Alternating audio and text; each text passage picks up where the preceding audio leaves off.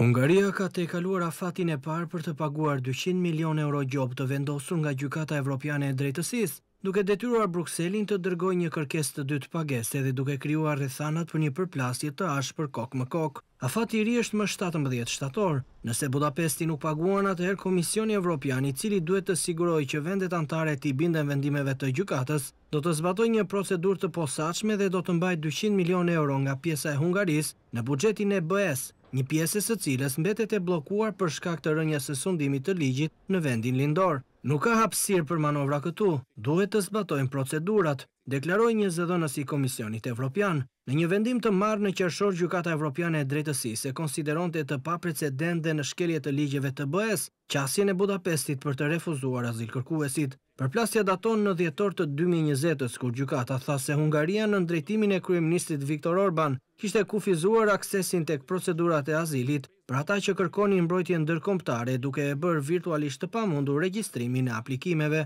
Autoritetet hungareze u kritikuan për mbajtje të paligjshme të azilkërkuesve në të ashtuquajturat zonat e tranzitit, duke shkelur të drejtat e tyre për të kërkuar azil. Qeveria hungareze i kontestoi akuzat dhe argumentoi se presioni migrator në vendet e BE-së justifikonte derogimet, por gjykata e hodhi poshtë këtë pretendim.